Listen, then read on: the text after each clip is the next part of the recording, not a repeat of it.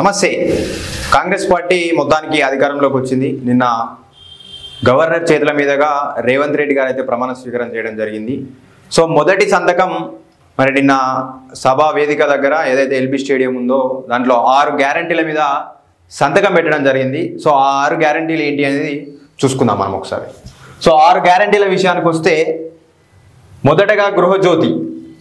So అయితే రేపు తొమ్మిది తారీఖు ఆరు గ్యారంటీల్లో ఒక రెండు అమలయ్యే అవకాశం ఉంది. డిసెంబర్ తొమ్మిది సోనియా గాంధీ బర్త్డే కాబట్టి ఆమె బర్త్డే సందర్భంగా రేపు ఒక రెండు హామీలు అయితే నెరవేరున్నాయి తెలంగాణకు.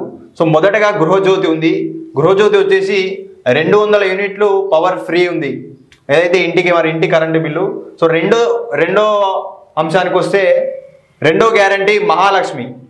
ఇరవై వందలు మహిళలకు ఐదు వందల గ్యాస్ ఆర్టీసీ బస్. అంటే నెలకు వచ్చేసి ఇరవై ఐదు వందల మహిళలకు పెన్షన్ వేరు మళ్ళా మహిళల కంటే అంటే అటు ఏదైతే పెన్షన్దారులకు కాకుండా అంతకంటే తక్కువ ఏజ్ ఉంటుందో వాళ్ళకి నెలకు ఇరవై వందలు వచ్చే అవకాశం ఉన్నది. సో ఐదు వందలకు గ్యాస్ కూడా ఇచ్చే అవకాశం ఉంది. ఆర్టీసీ బస్సు ఉచి ఫ్రీ మహిళలకు. సో మహాలక్ష్మి పథకంలో ఈ మూడు ఉన్నాయి. ముఖ్యంగా రేపు జన్మదినం సందర్భంగా సోనియా గాంధీ గారి జన్మదినం సందర్భంగా రేపు ఆర్టీసీ బస్సు ఉచిత ప్రయాణం మొదలు కానుంది. అది నిన్ననే మా క్యాబినెట్ సమావేశం జరిపిర్రు.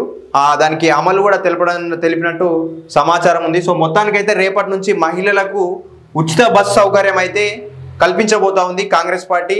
ఏదైతే ఆరు గ్యారంటీలు ప్రకటించారో దాంట్లో మొదటగా ఆర్టీసీ బస్ ఆర్టీసీ ఆర్టీసీ బస్కి అయితే వాళ్ళు గ్రీన్ సిగ్నల్ ఇవ్వడం జరిగింది. అయితే ఇక్కడ మహిళలందరూ గమనించాల్సింది ఏంటంటే మీకు ఉచితంగా బస్సు ఫ్రీ కానీ ఖచ్చితంగా మీరు ఆధార్ కార్డు ఖచ్చితంగా తీసుకుపోవాల్సిన అవసరం ఉంది. ఆధార్ కార్డు చూపిస్తే సరిపోతుంది. సో మొత్తానికైతే ఆర్టీసీ బస్సు ఉచిత ప్రయాణం అయితే కాంగ్రెస్ పార్టీ అనుకున్న దాంట్లో ఒక గ్యారంటీ అయితే ముందుగా ముందు ముందడుగు జరిగింది. సో నెక్స్ట్ వచ్చేసి యువ వికాసం. ఐదు లక్షల విద్యా భరోసా కార్డు తెలంగాణ ఇంటర్నేషనల్ స్కూల్. ప్రతి మండలానికి ఒక తెలంగాణ ఇంటర్నేషనల్ స్కూల్ ఒకటి. ఐదు లక్షల విద్యా భరోసా కార్డు కూడా ఇస్తామని ఏదైతే మరి ఆరు గ్యారంటీలో ఇది మూ- మూడో గ్యారంటీగా ఉంది. సో ఆరు గ్యారంటీలకు సంబంధించి అయితే ఇప్పటి వరకు అయితే రెండు గ్యారంటీలు అయితే అమల్లోకి వచ్చే అవకాశం ఉంది. సో మొత్తానికి ఇంకా ఆరు గ్యారంటీల్లో మొత్తం పూర్తిగా ఎప్పుడు ఎప్పటి వరకు అమలు అయితే అనేది చూడాల్సిన అవసరం అయితే ఉంది. సో వంద రోజులేమో టైం పెట్టుకున్నట్టు కాంగ్రెస్ పార్టీ. సో నెక్స్ట్ వచ్చేసి రైతు భరోసా. ఇక్కడ పదిహేను వేలు రైతులకు కానీ పన్నెండు వేలు కౌలు రైతులు ఉంటారు రైతులు ఉంటారు. సో వాళ్ళకు పదిహేను వేలు పన్నెండు వేలుగా ఇచ్చే అవకాశం ఉంది ప్రతి ఏటా. సో నెక్స్ట్ వచ్చేసి బోనస్గా ఏదైతే పంట పండిన దానికి బోనస్గా ఐదు వందలు ఇచ్చే అవకాశం కూడా ఉంది. సో దీంతో పాటు రైతులకు రెండు లక్షల రుణమాఫీ కూడా చేశామని కాంగ్రెస్ పార్టీ అయితే హామీ ఇవ్వడం జరిగింది. సో ఇవి పెద్ద పెద్ద హామీలు అయితే ఉన్నాయి. ఎంతవరకు నెరవేరుస్తారనేది మనం చూసుకోవాల్సిన అవసరం అయితే ఉంది.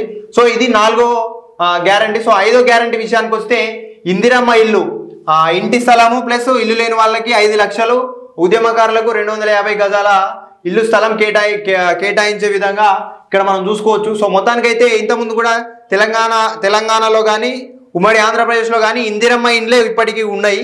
సో వాటిని ఇందిరమ్మ ఇందిరమ్మ ఇండ్లు మళ్ళీ అదే పథకం పేరుతో ఏదో కేసీఆర్ గారు డబుల్ బెడ్రూమ్ పెట్టిరో డబుల్ బెడ్రూమ్ పెట్టి కొన్ని అంటే నీళ్ళకు సరిగా స్లాబ్ ఉండకపోవడం కానీ అట్లా ఉన్నాయి.